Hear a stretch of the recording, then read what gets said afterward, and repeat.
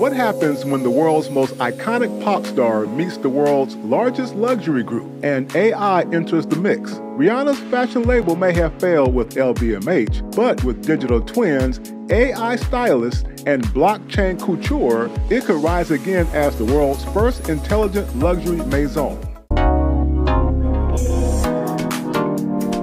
Welcome back to Digital Transformer Guy, where we break down how technology, design, and data are rewriting the rules of global business.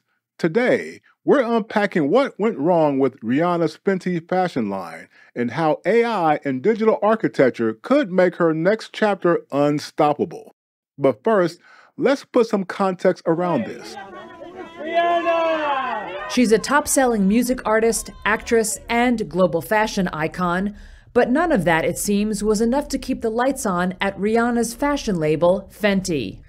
Parent company LVMH on Wednesday said Fenty's ready to wear line would be, quote, put on hold pending better conditions, a rare setback for the French luxury group, which has weathered the current economic climate better than most rivals and which launched the brand less than two years ago with a splashy event at which Rihanna said this. I never done something like this, this high end, and with a team this big and bad. I mean, LVMH is like, they're a machine. It's a monster of a machine. So working with them, you can only expect the best.